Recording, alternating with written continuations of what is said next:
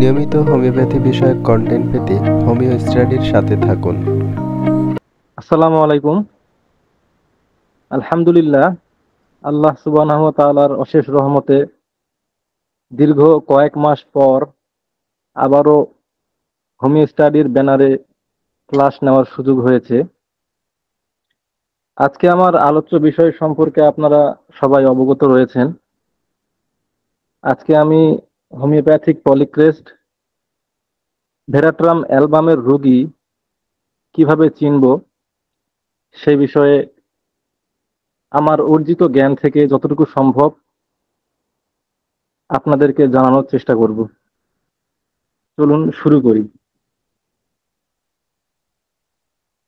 Veratrum album এর সাধারণ নাম হচ্ছে হোয়াইট বা ইউরোপীয় হেলেবর, যা লিলিয়াসির প্রাকৃতিক ক্রমভুক্ত এবং হেলেবর বা মেলান্থিয়াসি পরিবারের সদস্য। এবং এই ফুল গাছটা থেকে হোমিওপ্যাথিক ওষুধ প্রস্তুত করার জন্য ফুল ফোটার আগে সাধারণত জুন মাসের শুরুতে এটি সংগ্রহ করতে হয় এবং ওষুধ তৈরির জন্য এই ভেরাট্রাম অ্যালবাম গাছের রুট স্টকের টিংচার ব্যবহার করা হয়। ভেরাট্রাম অ্যালবাম সহজে তার মানসিক, আবেগিক অবস্থা বা তীব্র শারীরিক লক্ষণ দ্বারা স্বীকৃত হয়ে থাকে। যারা খুব বেশি উচ্চাকাঙ্ক্ষী, উদ্ধত এবং সাধারণত অন্যদের আচরণ তাদের আচরণ এবং মনোভাবের প্রভাব সম্পর্কে উদ্বিগ্ন নয়। তাদের ক্ষেত্রে এটা ভালো কাজ করে। তাদের মধ্যে যে মানসিক অস্থিরতা কাজ করে, এটি তাদেরকে উন্মাদনা বা সত্য অথবা বাস্তবতার বাইরে গিয়ে নিজেদের মহান ভাবা বা মহান ভাবার বিভ্রমে পতিত করে।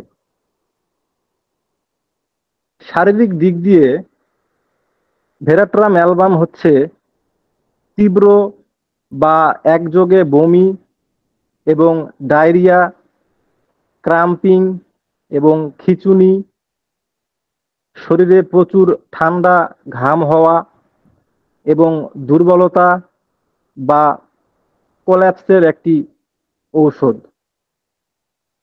ঐতিহাসিকভাবে লক্ষণ সাদৃশ্যে এটি কলেরার চিকিৎসা বা প্রতিরোধমূলক ঔষধ হিসেবে ব্যবহৃত হতো। শারীরিক উপসর্গ সহ বা ছাড়াই যাদের ভেরাট্রাম অ্যালবাম প্রয়োজন, তাদের প্রচুর শীত লাগে। টক স্বাদ, নোনতা জিনিস, ঠান্ডা পানীয় বা বরফ খেতে চায়। যে বাচ্চাদের ভেরাট্রাম অ্যালবাম প্রয়োজন, তারা সাধারণত অস্থির, ইচড়ে পাকা, কৌতূহলী বা প্রশ্ন করতে থাকে, এমন স্বভাবের হয়ে থাকে। হতাশা থেকে এরা হাতের নখ কামড়ায়, কাটা ছেঁড়া করার অভ্যাস এবং অনুশোচনার অভাবের সাথে অবাধ্যতা এবং আচরণগত সমস্যা এদের মধ্যে আমরা দেখতে পাই।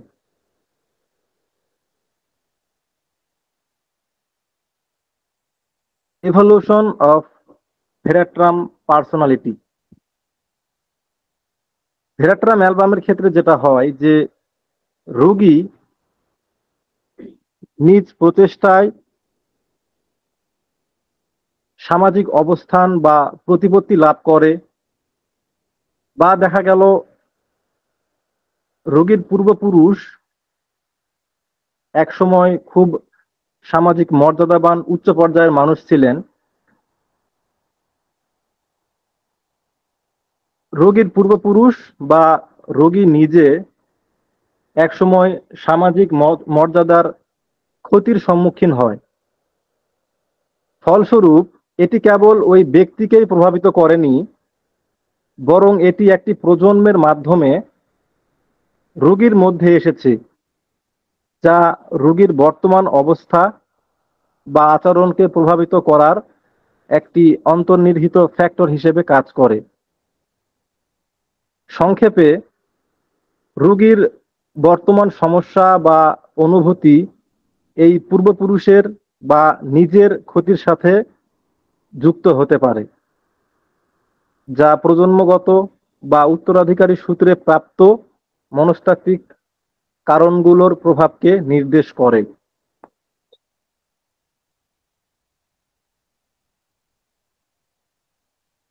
এই ভেরেট্রাম অ্যালবামের রোগী তাদের যে সমস্যাগুলো হয়ে থাকে, এগুলো বেশ কিছু ক্ষেত্রে তার মাতৃগর্ভে থাকাকালীন সময়ে, অর্থাৎ মায়ের কাছ থেকেও আসে। যেমন, গর্ভাবস্থায় মা নিজেকে অবহেলিত বোধ করেন। সে নিজের মনের উচ্চাকাঙ্ক্ষা পূরণ করতে পারে না, বা তাকে নিজের মনের উচ্চাকাঙ্ক্ষা পূরণ করতে দেওয়া হয় না। এবং সে যেসব কাজ করতে ইচ্ছা প্রকাশ করে, সেগুলো সে করতে পারে না। এই মহিলা স্বামীর কাছ থেকে যে ধরনের স্নেহ, ভালোবাসা পাওয়ার তার অধিকার রয়েছে, দেখা যাচ্ছে তার স্বামী তাকে সেই পরিমাণ স্নেহ বা ভালোবাসা দেয় না। এবং তার ফলে কি হয়? তার মধ্যে হতাশা কাজ করে। যে আমি আমার বাবার বাড়িতে ছিলাম রানীর মতো। সেখান থেকে বিয়ে হওয়ার পর আমি শ্বশুর বাড়িতে এসেছি। শ্বশুর বাড়িতে এসে আমার আমার সাথে যেরকম আচরণ করা উচিত ছিল সেভাবে আমার সাথে আচরণ করা হয়নি। এই পরিবারে আমার কোনো গুরুত্ব নেই। এবং এখান থেকে কিন্তু মায়ের মাধ্যমে বাচ্চার মধ্যে ভেরাট্রাম অ্যালবামের একটা রূপ তৈরি হয়ে যায়। এবং ভেরাট্রাম অ্যালবামের বাচ্চাদের ক্ষেত্রে যেটা হয়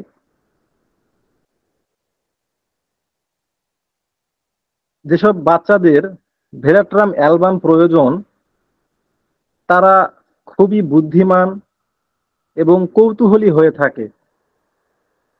তারা সবকিছু স্পর্শ করতে এবং এটি সম্পর্কে জানতে খুব আগ্রহী হয়।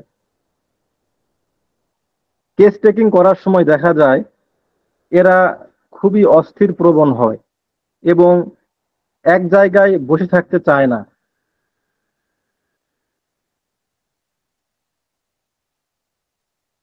এরা চায় যে তাদের বাবা মা যেন সব সময় তাদের সাথে থাকে।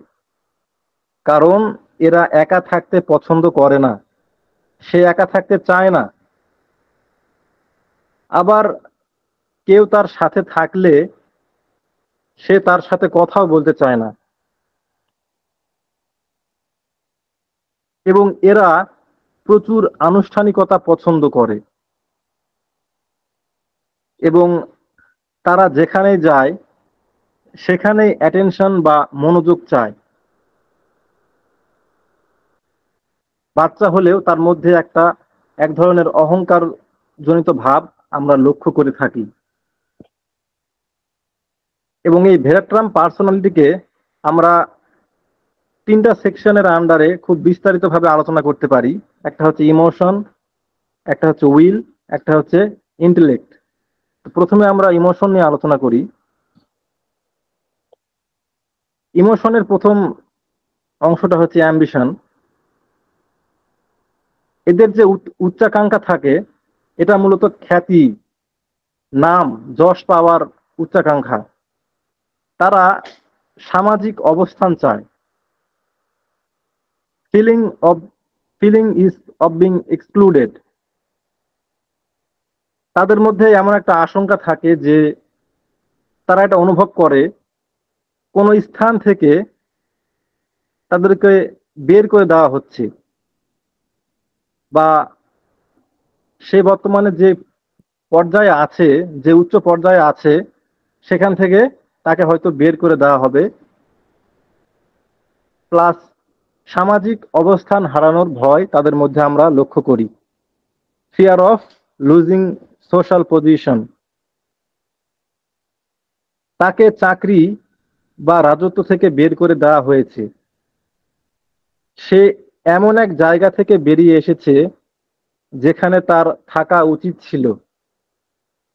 ফলস্বরূপ, সে আতঙ্কের মধ্যে থাকে, হতাশাগ্রস্ত হয়ে পড়ে। অতপর যা সে হারিয়েছে, তা ধরে রাখার চেষ্টা করে। যেমন হোমিওপ্যাথিক ওষুধ বেলেডনায় আমরা দেখি ফিয়ার অফ বিং অ্যাটাক অর্থাৎ তাকে কেউ আক্রমণ করবে, এমন একটা ভয় বা অনুভব তার মধ্যে থাকে। আবার স্ট্রামোনিয়ামে threat of being alone in the wilderness অর্থাৎ জনহীন স্থানে একা থাকার হুমকি রোগী অনুভব করে। আবার হায়োসিয়ামাসে আমরা দেখি threat of being deserted by his partner অর্থাৎ এক ধরনের ভয় বা উদ্বেগ কাজ করে যে প্রিয় মানুষের সাথে তার সম্পর্ক শেষ হয়ে যাবে। আর এসব কারণে অনেক বড় বড় হোমিওপ্যাথ বলেছেন ভেরাট্রাম অ্যালবাম এমন একটি ঔষধ যার মধ্যে বেলেডোনা, স্ট্রামোনিয়াম এবং হায়োসিয়ামাসের আলোচিত এই তিনটি বিষয় থাকে।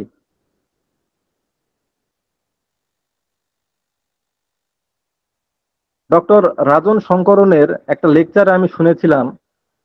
সম্ভবত উনি প্রুভিং থেকে এটা পেয়েছেন। স্বপ্নে তিনি দেখেছিলেন এরকম যে তিনি একজন বৃদ্ধ লোকের প্রতিষ্ঠানে কর্মচারী হিসেবে কাজ করছেন, যিনি শীঘ্রই অবসরে যাবেন।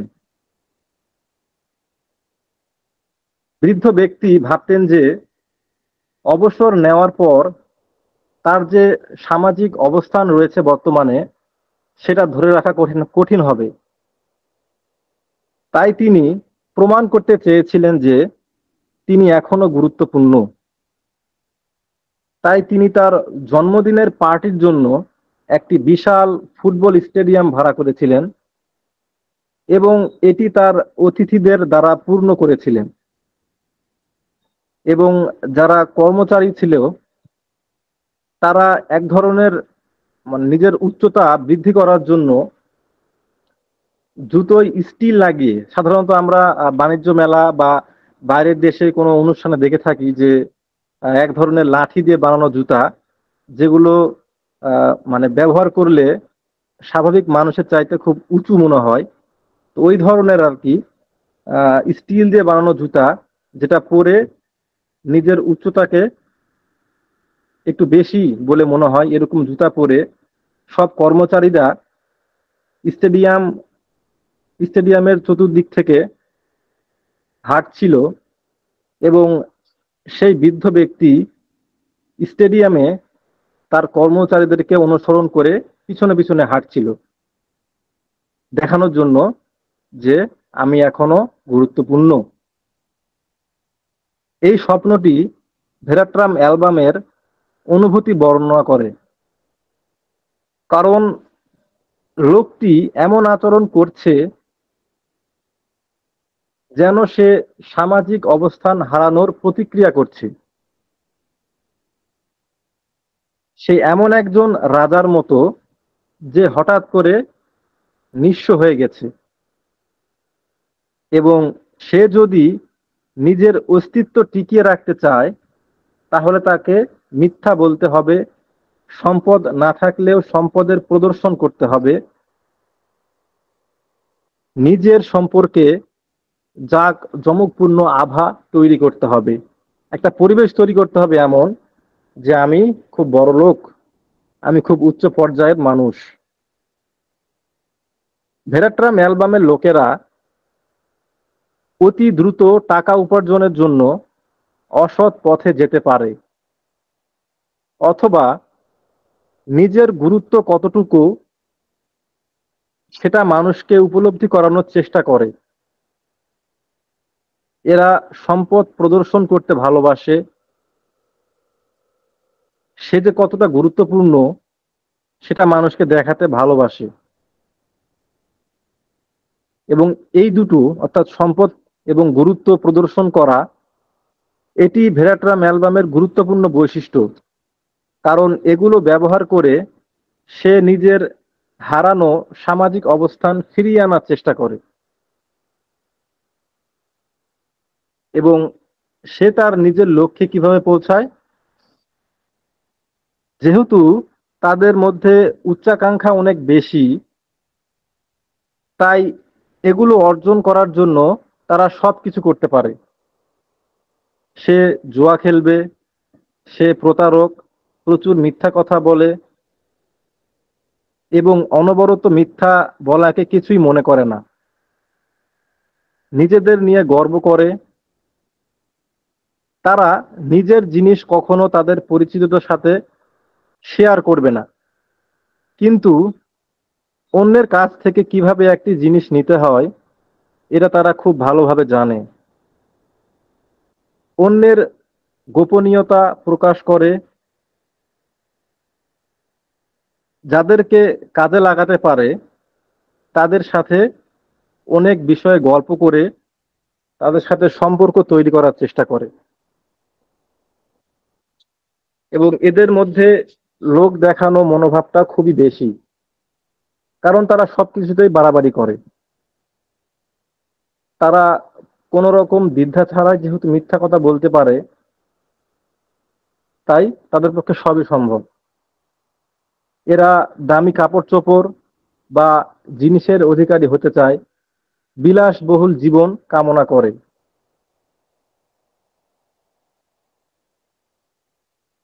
অন্যরা তাকে ধনী বলুক, এটা দেখানোর জন্য সে সবকিছু করতে রাজি আছে।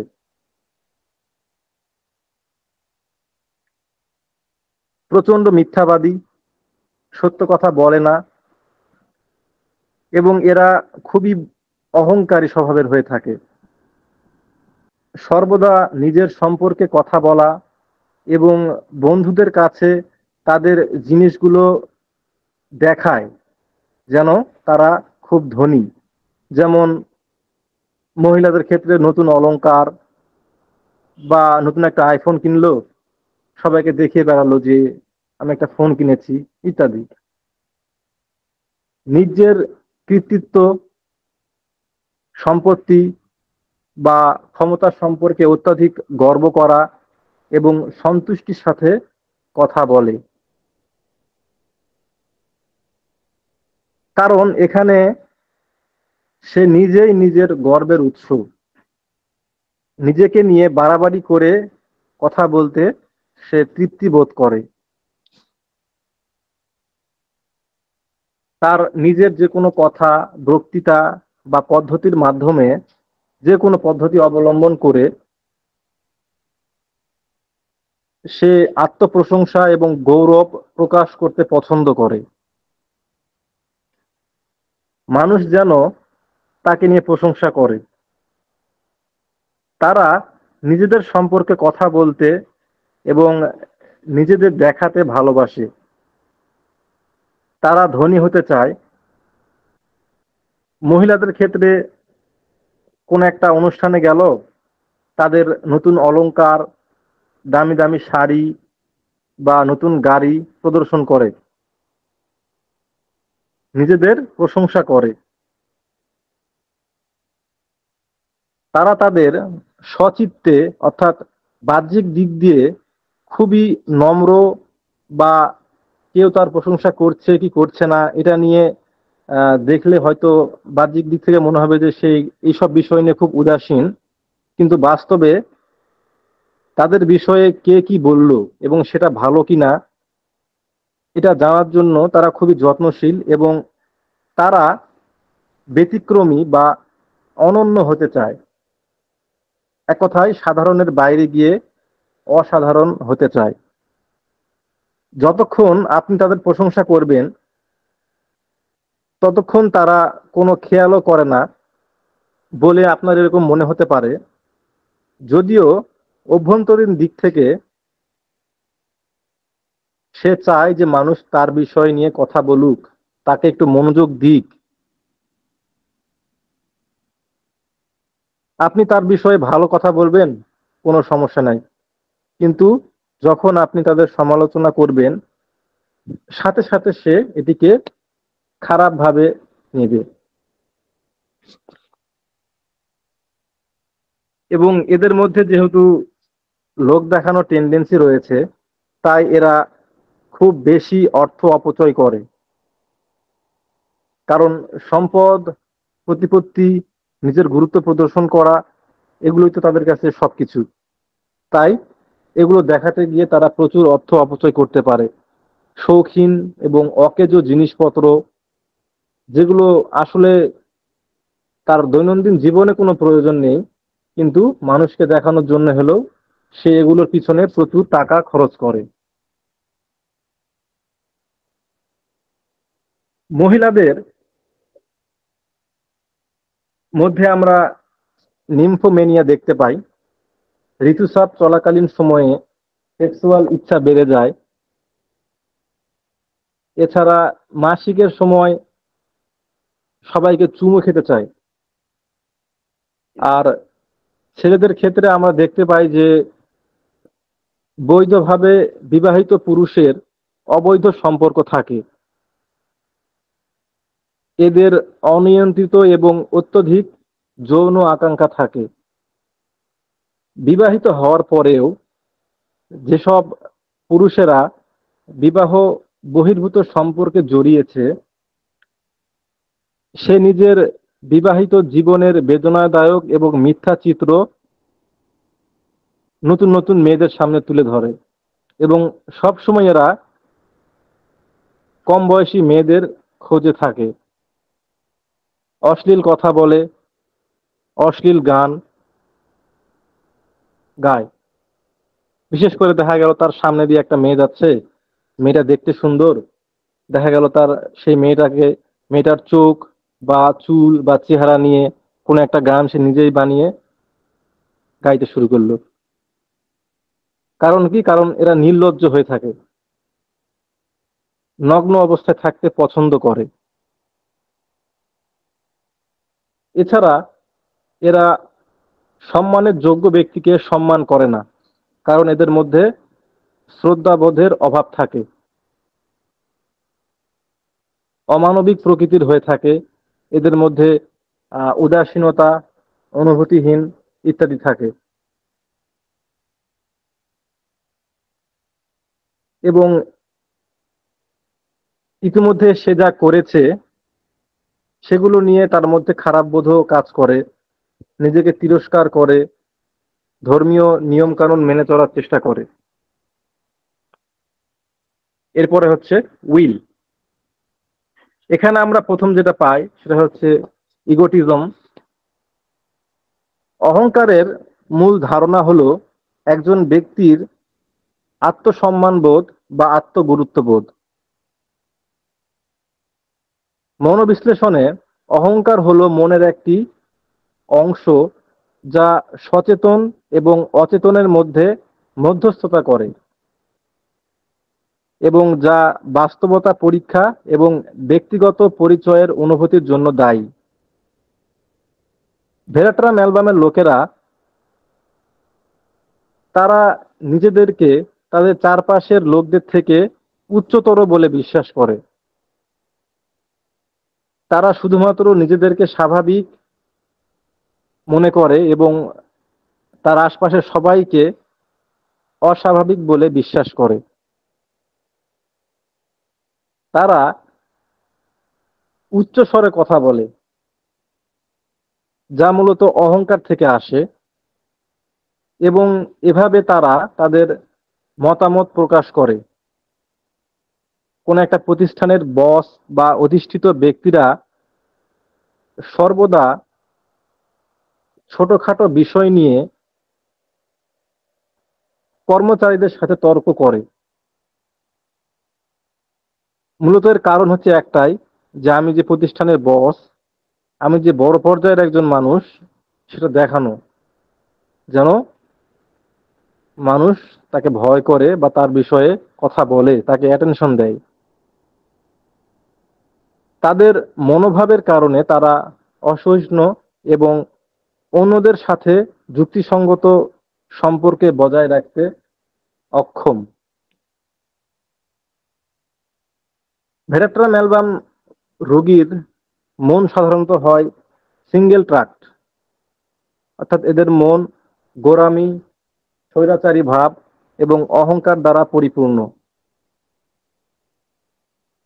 ভেরাট্রাম অ্যালবাম এমন একজন ব্যক্তি যিনি সুসংজ্ঞায়িত নিয়ম এবং দৃষ্টিকোণ সহ ব্যক্তিগত বাস্তবতা তৈরি করে, অর্থাৎ সে যেই বিষয়গুলো নিয়ে ভালো মতো জীবনযাপন করতে পারবে, সেই বিষয়গুলোকে নিয়ে নিজের একটা আলাদা দুনিয়া তৈরি করে। একটা স্বপ্নের জগৎ বলা যায়। এই সৃষ্ট স্বপ্নের জগতে তিনি স্বাচ্ছন্দ্যে এবং আত্মবিশ্বাসী বোধ করে। যাই হোক যখন তার বিশ্বাসকে চ্যালেঞ্জ করে বা তার এই যে সশিষ্ট স্বপ্নের জগৎ রয়েছে, যেখানে তিনি স্বাচ্ছন্দ্যে রয়েছেন, এই জায়গাটাকে আঘাত করে এমন কোনো তথ্য বা দৃষ্টিভঙ্গির মুখোমুখি হলে তখন তিনি প্রতিরোধী হয়ে ওঠেন, প্রতিবাদ করেন। এবং বিকল্প বিবেচনা করতে অস্বীকার করেন। মূলত সে ক্লোজ মাইন্ডেড অর্থাৎ যেটা সে ভাবে সেটাই করতে হবে।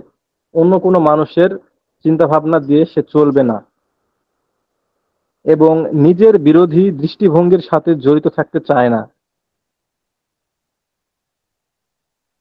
এদের ব্যক্তিত্ব উন্মাদনার দ্বার প্রান্তে বসবাসকারী লোকদের সাথে মিলে যায়। এরা যখন আপনার চেম্বারে আসবে, প্রথমত চেম্বারে যখন সে আপনার সাথে কথা বলবে, তখন আবেগগতভাবে বেশ স্থিতিশীল কিন্তু অদ্ভুত টাইপের মনে হবে আপনার কাছে। কারণ তার কথায় আপনি সুস্পষ্ট অস্বাভাবিকতা লক্ষ্য করবেন। মনস্তাত্ত্বিকভাবে যে সে অনমনীয়, এটি তার বক্তব্যে প্রতিফলিত হয়।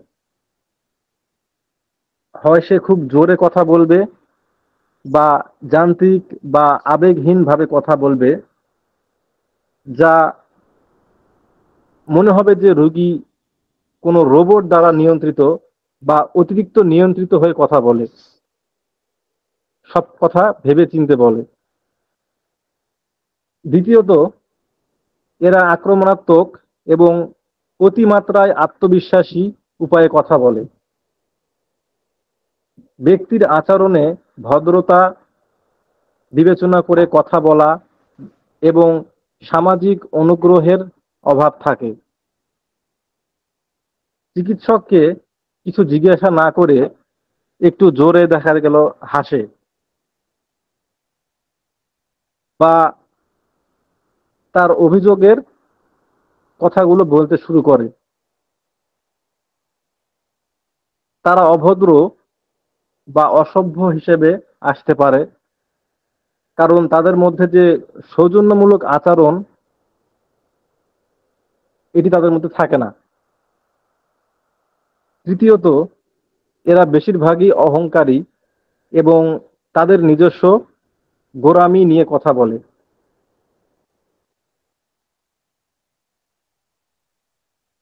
ভেরাট্রাম অ্যালবামের অন্যতম বৈশিষ্ট্য হচ্ছে অনরতা। ভেরাট্রাম ব্যক্তিত্ব চিন্তাভাবনায় বেশ কঠোর এবং দ্বন্দ্ব মোটে সহ্য করতে পারে না। এবং এদের কণ্ঠে কঠোরতা প্রতিফলিত হয়। তুলনামূলক সুস্থ ব্যক্তিদের মধ্যে রোবটের মতো অনুপযুক্ত উচ্চস্বর বা অতিরিক্ত নিয়ন্ত্রিতভাবে কথা বলা লক্ষ্য করা যায়। কারণ রোগে আক্রান্ত হলে ভেট্রাম অ্যালবামের রোগীর প্রায়শই কণ্ঠ খুব দুর্বল হয়ে দুর্বল হয়ে যায়। এবং এরা সবচেয়ে বেশি অনমনীয় ব্যক্তি। এটি এমন একটি ঔষধ যার মধ্যে ব্যাপক হাসির প্রবণতা রয়েছে। তারা অকারণে হাসে। আপনি তাদের সাথে কথা বলছেন বলে নয়। এটি এক ধরনের বিদ্বেষপূর্ণ হাসি, দুঃখজনক হাসি। তারা দূষিত চিন্তা ভাবনা করে এবং এটি তাদের মুখে হাসি ফোটায়। যেহেতু ভেরাট্রাম অ্যালবাম প্রায়শই ধর্মীয় শ্রেষ্ঠত্ব বা ভবিষ্যৎ বাণীমূলক শ্রেষ্ঠত্বের অনুভূতির সাথে সম্পর্কিত, তাই তারা জানে নৈতিকতার দিক থেকে বা ধর্মের দিক থেকে বা কীভাবে জীবনযাপন করা তার জন্য সর্বোত্তম।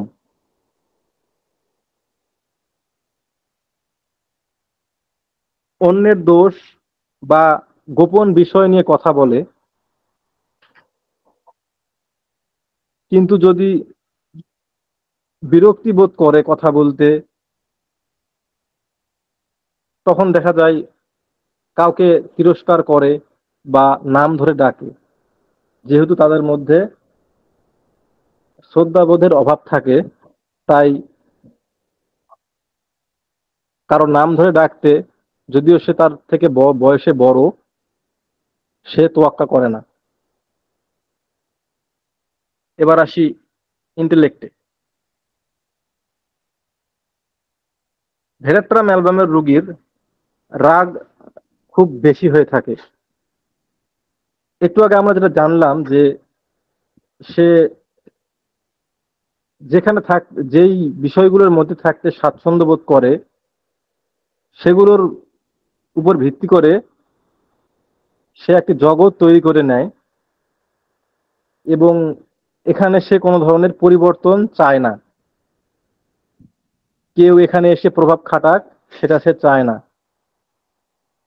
যতক্ষণ রোগীর অভ্যন্তরীণ ভারসাম্য বজায় থাকে,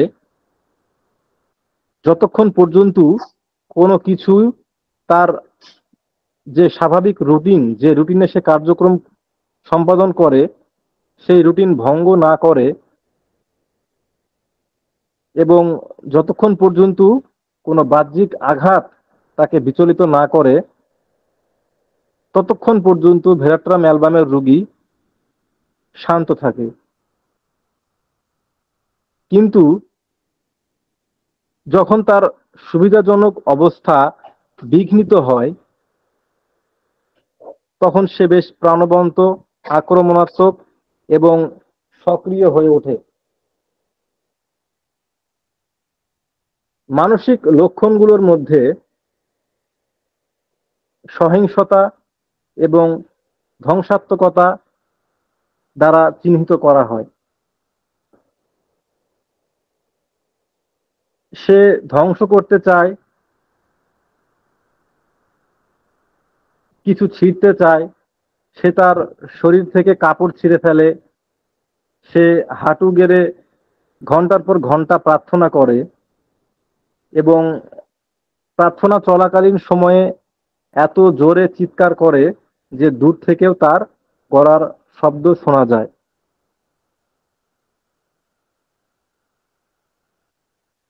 তার কাজে কোনো ধরনের বিরোধিতা করলে তারা চিৎকার করে বা দেখা যায় অভিশাপ দেয়।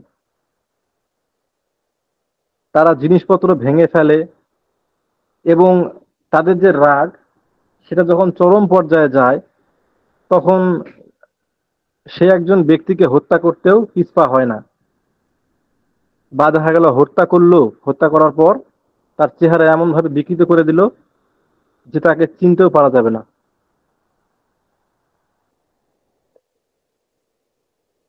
ভয় ভেরাট্রাম অ্যালবামের মৌলিক কোনো লক্ষণ নয়।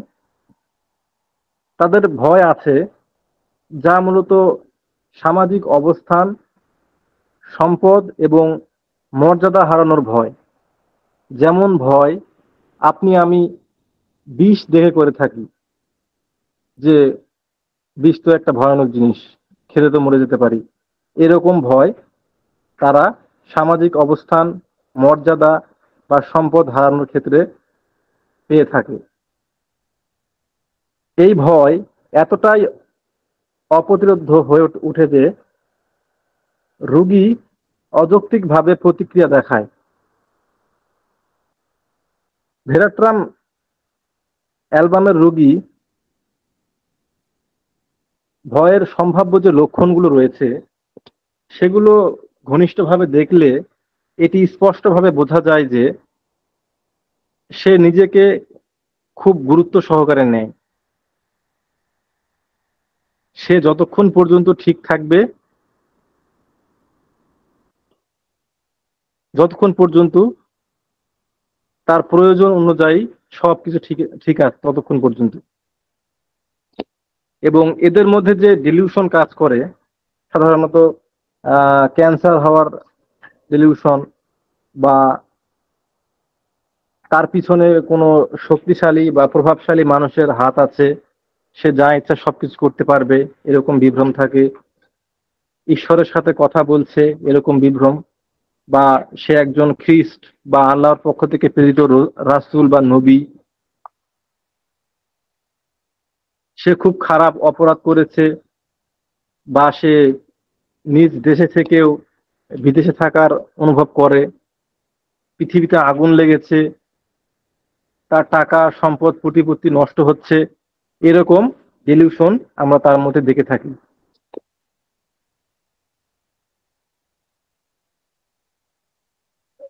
মেনিয়াকে মূলত দুই ভাগে ভাগ করা যেতে পারে। একটা হচ্ছে ভায়োলেন্ট মেনিয়া একটা হচ্ছে ইরোটিক মেনিয়া ভায়োলেন্ট মেনিয়ার ক্ষেত্রে আমরা দেখি যে অস্থিরতা রোগীর মধ্যে যে ম্যানিক স্টেট বা বাতিগ্রস্ত হওয়ার যে স্টেটটা অবস্থাটা, সেটা শুরু হওয়ার প্রারম্ভিক লক্ষণ হিসেবে দেখা যেতে পারে। এরা অস্থির প্রবণ এবং এক জায়গায় দীর্ঘক্ষণ স্থির হয়ে বসে থাকতে পারে না। এবং ইরোটিক মেনিয়ার ক্ষেত্রে দেখা যায় এরা খুব অশ্লীল কথাবার্তা বলে। মহিলাদের যদি যৌন আকাঙ্ক্ষা পূরণ না হয়, যৌন আকাঙ্ক্ষার অশান্তি থেকে উদ্ভূত অস্বাভাবিক মানসিক ইমপ্রেশনে ভোগেন, সেক্ষেত্রে ভেরাট্রাম অ্যালবাম আমরা ব্যবহার করতে পারি, যদি লক্ষণ সাদৃশ্যে প্রয়োগ করা সম্ভব হয়। এছাড়া আমরা যেটা জানলাম ইতিমধ্যে যে মাসিক চলাকালীন সময়ে তার ঘরের মানুষ বা প্রিয়জনদেরকে শুধু চুমু খেতে চায় ইত্যাদি। এরা অত্যধিক হতাশ ধরনের হয়ে থাকে। হতাশাগ্রস্ত ভেরাট্রাম অ্যালবামের রুগী ঘণ্টার পর ঘণ্টা চুপচাপ বসে থাকবে। সে ভাবে যে সে কতটা নিকৃষ্ট এবং কল্পনা করে যে সে আর কখনো ভালো অনুভব করবে না বা তার যে রোগটা হয়েছে, সেই রোগটা আর কখনো ভালো হবে না। তার মধ্যে আরোগ্য লাভজনিত হতাশা কাজ করে। এই পর্যায়ে সে স্বাভাবিকের চেয়ে বেশি উদ্বিগ্ন হতে পারে। বিশেষ করে যখন সে একা থাকে এবং দুঃখ থেকে বেরিয়ে আসার কোনো উপায় পায় না, তখন সে আত্মহত্যার কথা ভাবতে পারে। চিৎকার, চেঁচামেচি করে রুমের চারপাশে দৌড়ায় এবং বসে থেকে গভীর চিন্তা করে, হাহাকার করে, কান্নাকাটি করে, ইত্যাদি। বেশিরভাগ সাইকোটিক ওষুধের মতো ভেরাট্রাম অ্যালবামের একটি দৃঢ় ধর্মীয় মনোভাব রয়েছে। কঠোর মনের কারণে ভেরাট্রাম অ্যালবামের রোগী ধর্মীয় গোরামি প্রবণ হয়ে থাকে এবং এটি দেখা যায় জীবনের শেষ পর্যায়ে এসে দেখা যায় ধর্মীয় যেই গোরামিটা কারণ ওই চাইল্ড থেকে শুরু করে